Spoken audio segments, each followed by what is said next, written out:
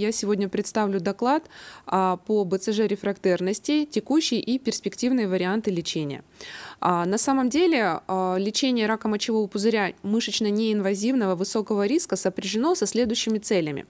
Во-первых, лечение такое комбинированное направлено на полное удаление опухоли мочевого пузыря, позволяет предупреждать либо увеличивать промежуток времени до наступления рецидива, предупреждает развитие пануретелиальной карциномы, то есть с вовлечением верхних мочевыводящих путей и, соответственно, предупреждает и, опять же, увеличивает промежуток времени до наступления прогрессии заболевания. В совокупности все эти четыре цели приводят к единственному и очень важному ощутимому фактору как для клинициста, так и для пациента, это увеличение общей выживаемости. По действующим клиническим рекомендациям проведения БЦЖ-терапии а, возможно а, как а, для пациентов а, высокого риска прогрессирования и сопряжено с таким явлением, как БЦЖ-рефрактерность. Успешность БЦЖ-терапии при мышечно-неинвазивном раке мочевого пузыря возможна при соблюдении нескольких факторов. Во-первых, отсутствие персистирующей опухоли а, Т1, а, при повторном ретуре мочевого пузыря. По современным действующим рекомендациям проведение повторного ретура должно быть а, выполнено через 4-6 недель от первичного тура. А, в случае, если первично у нас получена инвазия в собственную слизистую, подслизистую, либо в отсутствии мышечного слоя при первичной биопсии мочестенки мочевого пузыря. Отсутствует опухоль в простатическом отделе уретры. Это нужно для того, того, что э, если при последующих обследованиях э, избежать ложно-отрицательных, либо наоборот ложно-положительных результатов э, по цитологическому исследованию мочи, мочи и э, мы обязаны при первичном и при повторном, повторной трансуретральной резекции отдельно маркировать и исследовать простатический отдел уретры на наличие уретелиальной карциномы. Отсутствие лимфоваскулярной инвазии при биопсии э, лимфоваскулярная инвазия является крайне неблагоприятным прогностическим признаком. А, в отдельных сериях исследованиях сравнивались результаты общей выживаемости пациентов, у которых а, даже при мышечной инвазии была лимфоваскулярная инвазия. При этом пятилетняя выживаемость таких пациентов составила 31%. В случае отсутствия лимфоваскулярной инвазии и последующего как бы, проведения а, полного объема радикального лечения, а, общая выживаемость для таких пациентов составила более 70%. Низкий уровень ирритативной симптоматики а, позволяет нам проводить а, получить, во-первых, пациенту полноценный а, инициальный курс БЦЖ-терапии, поддерживающий курс БЦЖ-терапии, а также выдержать полное а, время нахождения БЦЖ-вакцины в полости мочевого пузыря. А, отсутствие таких вариантов опухоли э, в биоптате мочевого пузыря, такие как микропапиллярная, саркоматоидная и плазмоцитоидная дифференцировка, а, Данный тип э, опухоли действительно встречается крайне редко. В среднем в отдельных сериях э, говорят о 4-6%.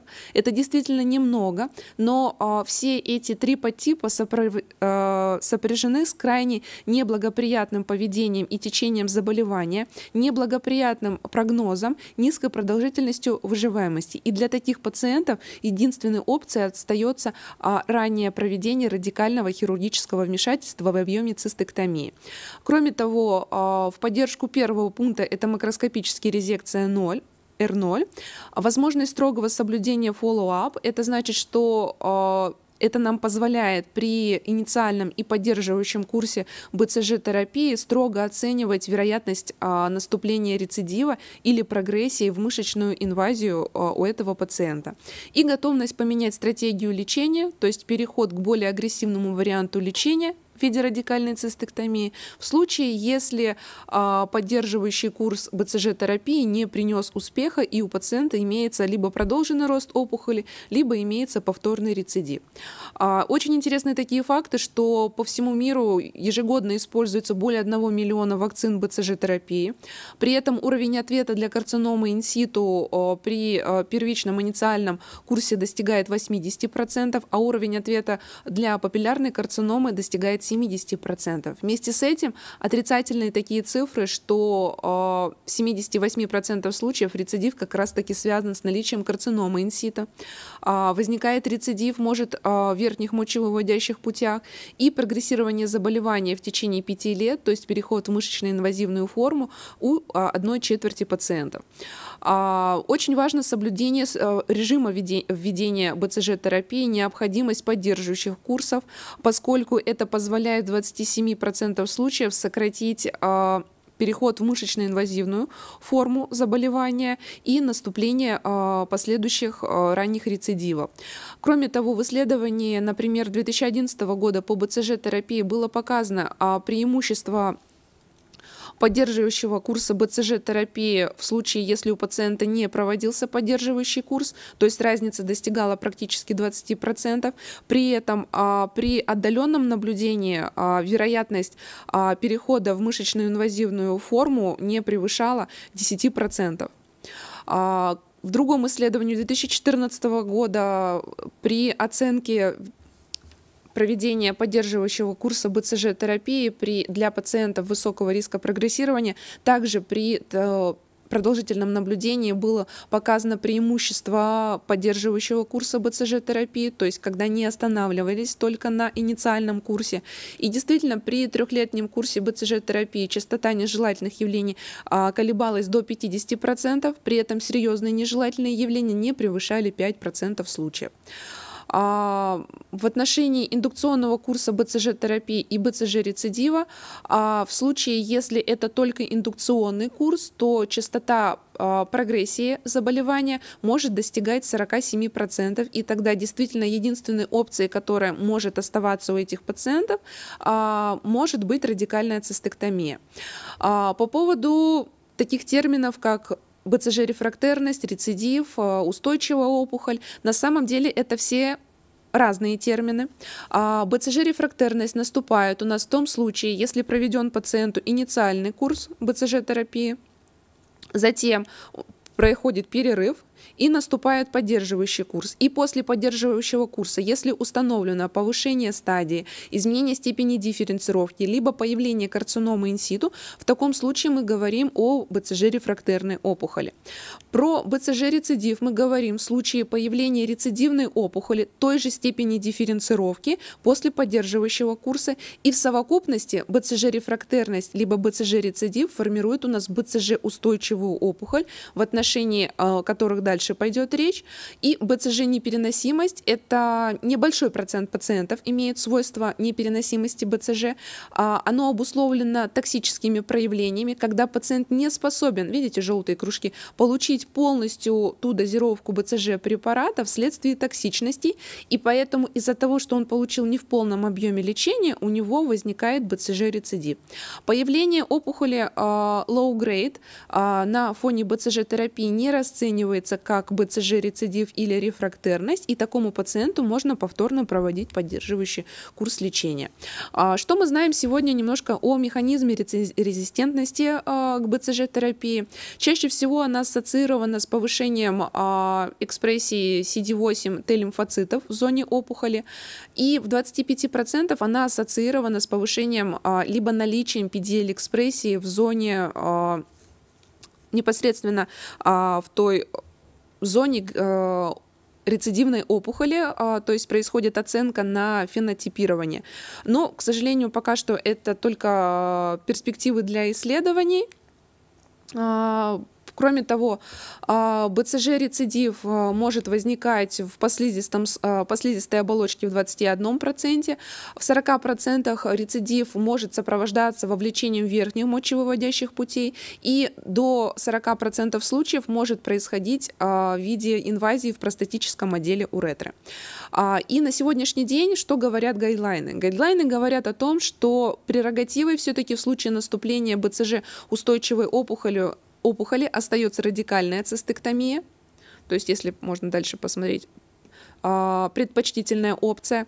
Но вместе с этим а, протекают а, клинические исследования, и они направлены в двух направлениях. Это либо цитотоксическое лечение, либо в виде новых стратегий это использование опций иммунотерапии, генной терапии, вакцинотерапии, введение онколитических вирусов.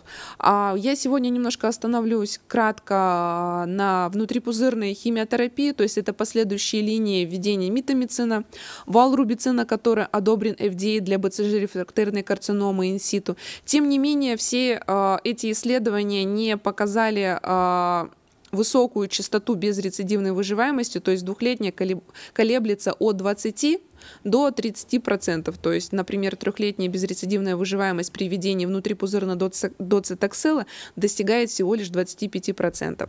На сегодняшний день а, в отношении доцитоксела продолжается клиническое исследование по доставке доцитоксела на специальных наночастицах, чтобы снизить токсичность и более а, прецензионная и полноценная доставка а, данного цитотоксического препарата. Очень интересное исследование 19-20 года по использованию опции пембролизума ритузумаба. А в случае, если мы говорим про БЦЖ рефрактерную опухоль, в том числе с наличием карцинома инситу, при этом а, интересно является когорта подгруппа А, в которой сочеталась и карцинома инситу, а, и карцинома инситу, только, э, точнее, только карцинома инситу. А, при этом а, в исследовании было показано, что а, при первичных срезах этого исследования частота объективного ответа достигала 40%, что не было показано при, ни при одном а, внутрипузырной э, химиотерапии.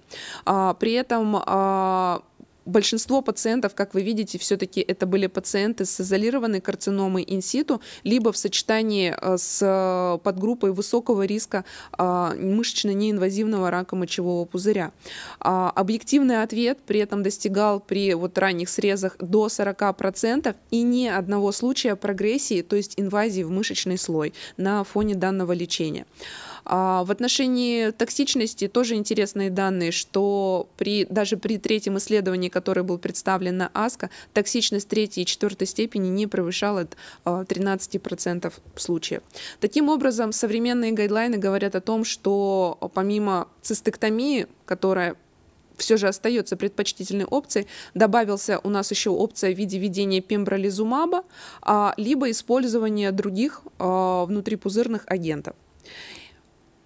И в заключение э, подведу итог своего доклада, что случай БЦЖ устойчивого мышечно-неинвазивного рака мочевого пузыря, во-первых, может и должен поддаваться лечению. А радикальная цистектомия остается стандартной опцией выбора в лечении э, БЦЖ устойчивого мышечно-неинвазивного рака мочевого пузыря. И сегодня проходят э, несколько перспективных клинических исследований. Это по использованию онколитических вирусов, использованию иммунотерапии. Благодарю вас за внимание.